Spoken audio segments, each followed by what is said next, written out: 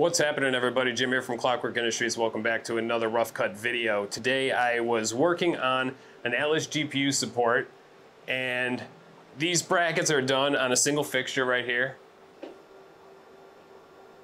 And the way they are machined on both sides is through the dowel pin holes. And this has been a critical part of my manufacturing process here.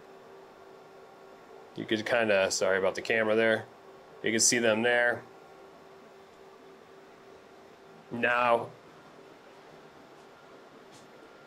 this seemed like it was going to be a daunting process when I first started doing them, but it really isn't.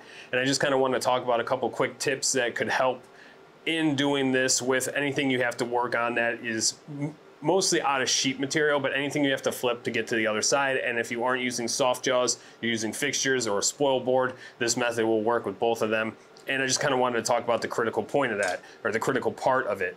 And basically, with these Atlas GPU supports, we have some features on both sides that require nice edge breaks, and there are a couple critical tolerances.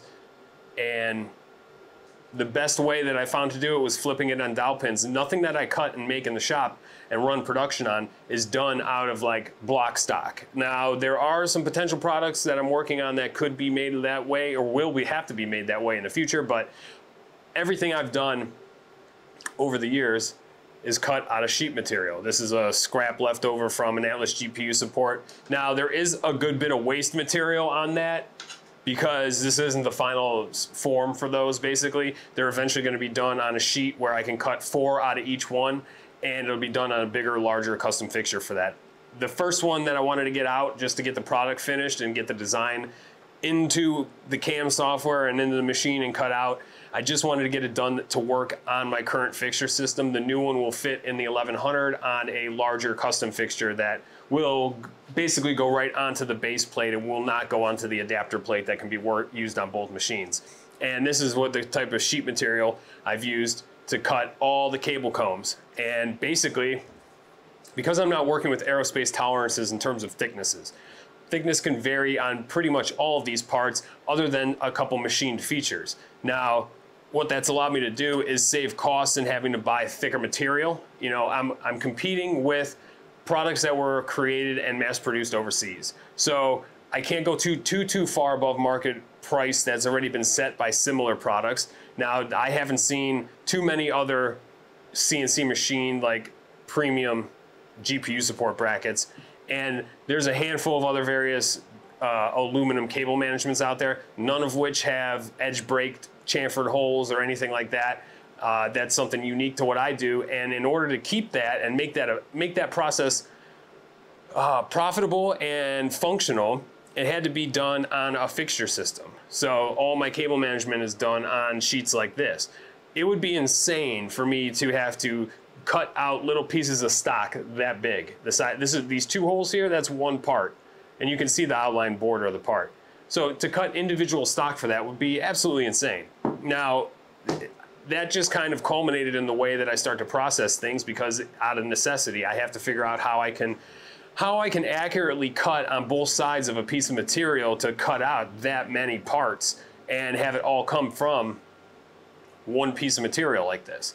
So I basically devised a way to, and it's, it's pretty straightforward and it's used in tons of different applications, but you can see on this fixture here, inside here is a dowel pin hole right there, another one down there, and then same on the other side. But the, the, the main part of that is that they're symmetrical. So the, the, key, the key trick to doing it is making sure your dowel pins are symmetrical on the axes that you need to flip. So everything I do is on the Y or on the uh, X axis.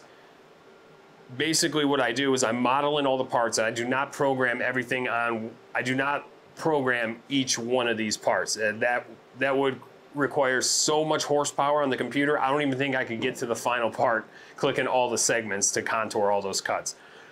Excuse me. So what I do is on this fixture, I program the bottom corner and then I pattern it up in a Y and I take that Y pattern and I pattern it in X all the way across. That allows me to program one part and cut the entire sheet worth of parts. That's also been a, a very helpful uh, solution, I guess you could say, to machining multiple production parts and using a program like Fusion 360 where it would be incredibly bogged down and barely functioning by the time you selected all those contours.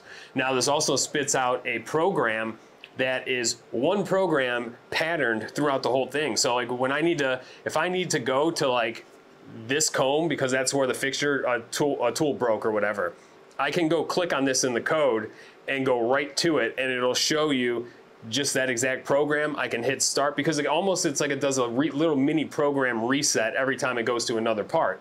So when it gets there, I can just run the program so it calls up all the tools and everything. I hit cancel and then I go right to this one and can start off instead of having to filter through lines of code and just kind of guessing if this is going to be the right spot to start at. You know, sometimes it's more difficult to go mid program and start up again when it's not calling out your tools or any kind of G code for it. So it makes it super helpful to jump in. Now I do lose a little bit of probably uh, air cutting time, you could say, but you can really fine tune that and get it so it's only coming up as high as you need it. And uh, I guess the biggest benefit would be if you could if you could program them all one time, you can have it link the parts without coming up at all, and they could kind of flow to one another. But this just gives me a lot more process reliability, and it's this whole method of doing the dowel pin flip and cutting everything from the sheets allows me to do the production the way I do it and get these parts out there at an affordable price. Uh, so basically, the key thing is getting a perimeter tangent rectangle made on your model for all the parts. So if I had to pattern out the cable combs, I'd pattern them all out and then I would draw a rectangle that's tangent on all the corners. So it's basically the exact grouping uh, boxed in and then get a diagonal line across so you have a center point and then draw out a center point rectangle. So in this case, I draw that center point rectangle out and then I get the I get the dowel pins in between the corners of a couple of the cable combs. Uh, on the Atlas GPU support, I've got the dowel pins way out in the area where they wouldn't be affected by anything while I was doing the interior cuts. Because once this is, uh, once the dowel pin flip is done, I end up putting this clamp sheet on and cutting it out and pulling out the dowel pins anyway. So they're out of the way once I do the final cut and everything. But it's basically just getting those dowel pins into an area that's symmetrical on the axis that you need to flip it on and out of the way of the material or any other parts that are going to be or any part of the part that's going to be processed.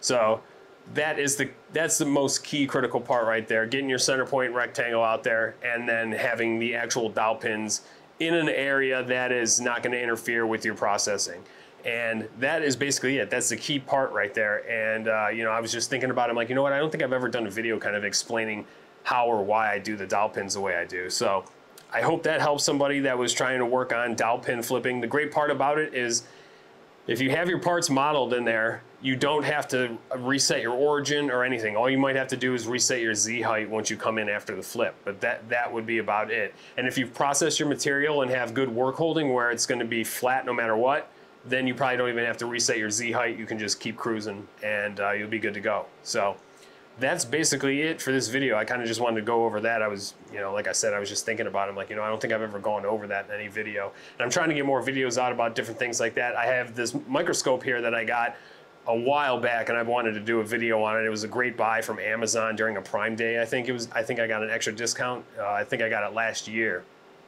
And uh, it's really nice to know why a cutter's leaving and leaving you know a defect on a part because I've changed the entire way I do my final cut processes and the microscope is a part of that and I'll go over that in the next video when I'm talking about that. I'm going to try to really get more of these videos out each week, uh, especially these kind of ones where I just kind of want to go over a topic and I, there's like less editing involved. Um, also, you can catch, speaking of less editing, I've been trying to get a lot more live streaming in on Twitch, so there'll be a link down in the description if you if you guys hang out on Twitch at all. Come on, hang, come on over the live stream and hang out. Try to get a few hours in during the weekdays, and then I'm going to try to get longer streams in on the weekends. Uh, we also got a Discord down there where it's like kind of a mix of all the things that I'm involved in, all my hobbies and business and everything else. There's CNC machining in there. Custom computer builds, custom cable making, some computer gaming channels that I put in there as well. So I got people who are coming in from the Twitch. There's uh, some people who are coming in from machining just from this uh, YouTube videos, and then my regular social media with all the computer modding stuff. So it's like kind of a, a variety Discord of all the different things that I enjoy, all my different hobbies. There's a couple. Uh, yeah, there's a couple channels for CNC and Makerspace. Uh, I got some gaming channels, and then we got you know custom cables and all that kind of stuff going on. So, if any of those things are of interest to you, We'd love to have you over in the Discord, share your wisdom, or ask questions and get help on the projects you're working on. Uh, some knowledgeable people are starting to file in there and helping out others in their quest to build the best custom cables. We've been talking a lot about the uh, FE combs recently and like how much current is involved on each rail and the gauge specifics and tweet it's, it's allowed me to come back and look at the different sizes of my FE combs and tweak some things. So uh, all kinds of troubleshooting and sharing of work and all that kind of stuff in the Discord. So if you're on Discord, love to have you stop by. And uh, I think that's going to be about it. I appreciate you guys for watching. Don't forget to subscribe and hit the notification bell. Hit like if you like the video. And uh, yeah, we'll see you in the next video. Peace.